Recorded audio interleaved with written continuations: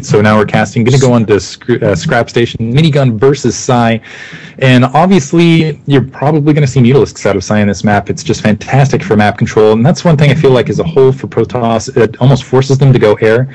Um, and Well, I hold your horses there, Diggity. out. It's not necessarily a given that he'll go mutalisk. It's just that he can, which which can. creates You're right. You're right. Looks like we have minigun starting at the 12 o'clock location, 3 o'clock location. We have Psy as the green Zerg.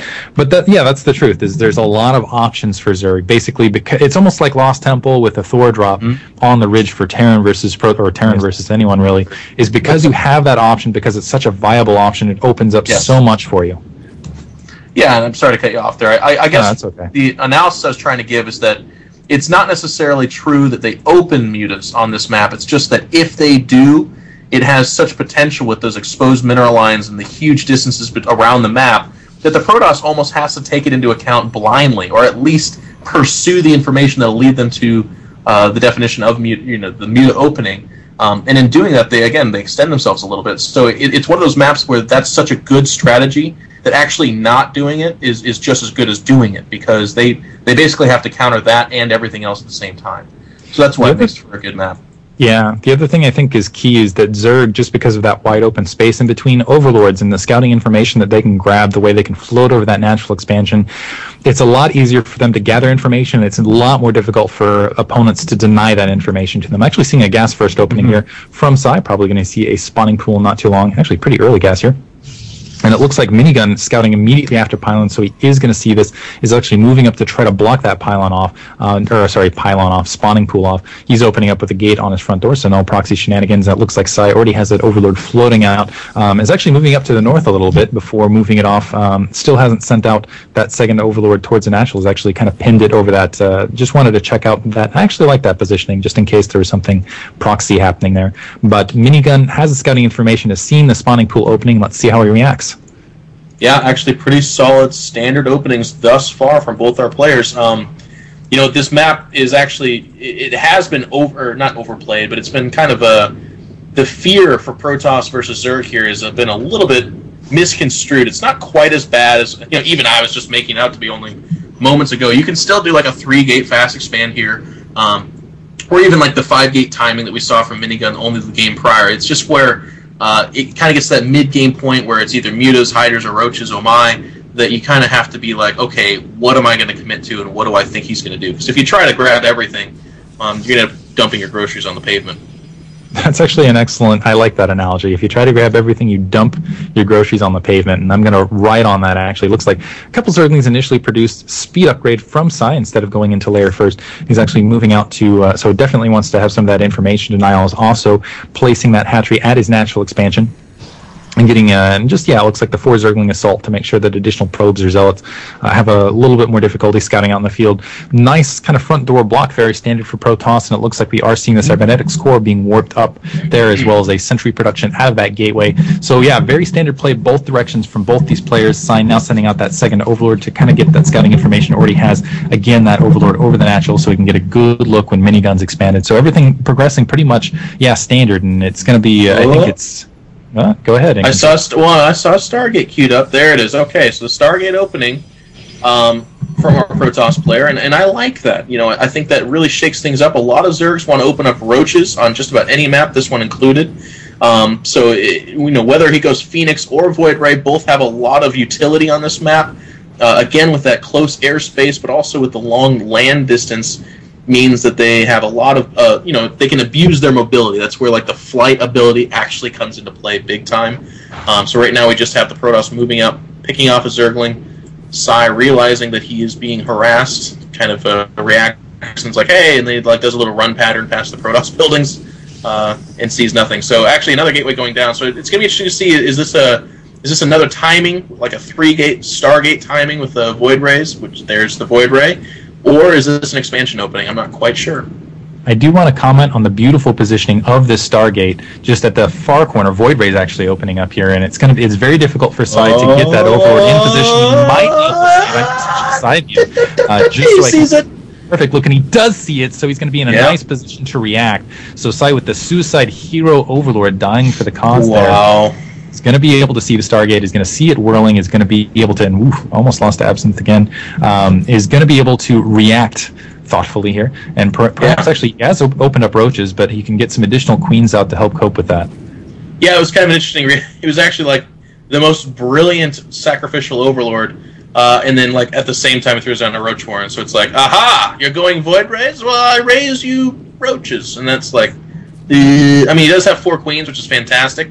Uh, but I would like to see like an evolution chamber, just more lings or something. He, he still is not sure if this is a, a, a base timing or if this is an expansion opening because that void ray is just going to go around, kill overlords, kind of get a read for their opponent, and here we do. You know, the queens just kind of uh, tickle it away. They're like, please leave. We'll throw these stones at you until you do, and then they hop around in their skirt. Uh, and the Void Ray is just going to get that information. And if you actually look back at the Protoss base, he's building a second one, uh, and he's got the money in position. There it is. So that Nexus does go down. So this will be a, kind of a macro opening. I appreciate that. Yeah, one of the nice things about this is you can uh, more or less. That's the one thing versus Zerg compared to Terran is, is you can still do this and still send Zerglings at, at that natural expansion, but the Void Rays um, still create some some problems. And oh man, that Void Ray now at the natural, also diving into the main, just trying to pick off where they can, trying to split the Queen forces. Looks wow. like he's going to be successful in doing so in minigun with the, what I'd consider a very fantastic and a very successful harass thus far. Five kills on one Void Ray, and it looks like just two kills on the other, but definitely um, in a third Void Ray to come, really keeping Psy confused, really splitting his forces. Now the Evolution Chamber, but you also have a Robo, a Forge, and an expansion up for Minigun in the meantime. Mm. And definitely. Niggity, I just got word from our field crew that WhiteRa is down 0-1 to 1 Janook. Yes, I actually heard that, and I was going to comment. Unbelievable. So we had Janook, who really wasn't one of the guys that people thought um, would give a lot of harassment as far as the voting went against the pros. He's actually beaten WhiteRa. We'll keep you posted on that. Two queens trying to engage these Void Rays. The Void Rays just tossing off uh, back and forth, and that is a lot of queens now for Psy. Yep. Looks like that Void Ray, they're still doing a great job harassing, just bringing up the economy tab. You have Minigun with a huge advantage. Has 39, almost 40 harvesters compared to uh, 28 for Psy. Psy not feeling good good. Just now sending out Zerglings with speed towards that natural. Looks like it's pretty well blocked off, and I actually didn't get a view of this earlier. I love this beautiful block off from Minigun. There's a photon cannon just about to warp in with that sentry. He basically has a perfect seal. Oh, he's going to miss the sentry block. Um, just a couple Zerglings flooding through, so actually splitting that force in half and doing a good job. That photon cannon is not warped in yet, so this could be pretty risky. So, uh, but it looks like it is going to hold. Psy is going to back off. Now trying to open up the destructible rock. I don't think he's going to be in time. It looks like that cannon is warping in. In the meantime, Zealot's coming off the front to try to push those Zerglings back. It looks like he will be successful in doing so. And several of the Void Rays actually coming back home now after a successful venture. Um, but yeah, I got to say, Minigun's in a great position currently. Psy, though, feeling comfortable, feeling like, well, I did the harass, the Void Rays are backing off. I'm just going to produce a ton of drones. Um, so actually catching up very quickly in the Harvester count comparably. He's actually now fielding Mutalisks of his own. And you also have Colossus that are being fielded out for Minigun. So uh, the question is, is will, be, will Psy be able to really stop Minigun, uh, Minigun's mid-game army now with his composition? Well, if he wants a chance, I'm really hoping he does this. You got to wait for the critical number of mutas. So don't move out.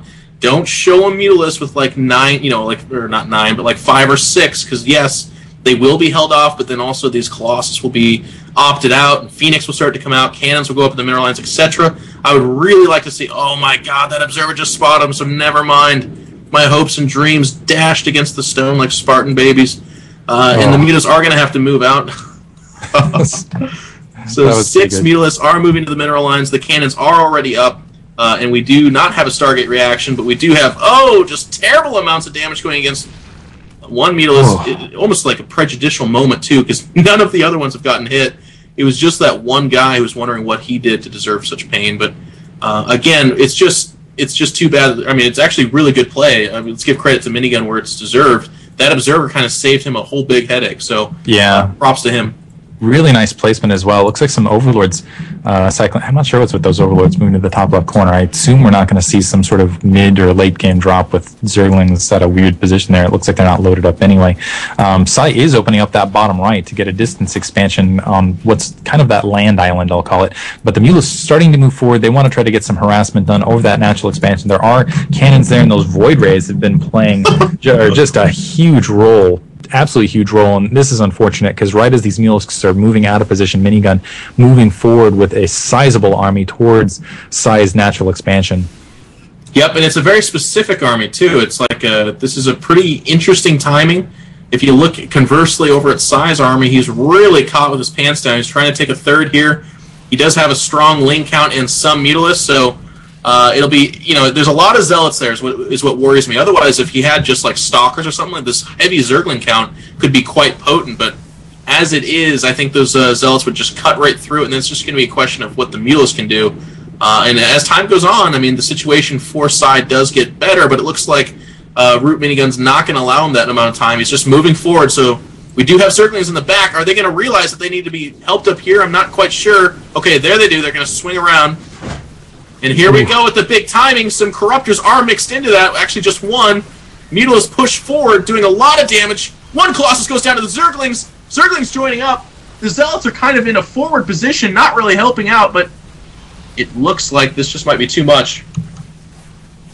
Oh, looks like yeah, just too much. The mule is going to be taken care of. Still a couple void rays to stand. Psy's army has been uh, more or less taken care of, and it looks like it's just going to be an even trade here. But keep in mind, Psy lost an additional base. He's still locked to second expansion. He's actually placing down an additional hatchery to perhaps go a little bit Zergling heavy. So even though Minigun lost his army, which definitely isn't something he wanted, I think he wanted a killing blow there. Um, Psy is still locked to two bases and in a very uh, very desperate situation, and Psy should be able to or sorry, Minigun should be able to replenish that without too much trouble. Yeah, I mean, uh, I don't think an, an, even trade is what either player wanted in that situation, uh, for obvious reasons. That was kind of a silly comment, but um, I'm liking where the Zerg's going. I, I, like these macro hatches he's putting down. I, would rather they be a little bit more uh, intuitively timed. I think that they've been placed thus far as kind of a reactionary, like, oh crap, I didn't spend my money. Um, so, I mean, excellent play by Psy thus far. I don't want to take it away from him, but certainly uh, needs to clean that up a little bit if he hopes to take down a player like Minigun. But we do see that uh, Stargate play being phased out at least to a certain extent. Just a couple of Phoenix. Uh, actually, he's adding more Phoenix as I say that. So this uh, this Roach composition coming out of Psy right now could be actually really really potent, especially if he gets the amount of money that he needs from that third phase to also start going Corruptors with that.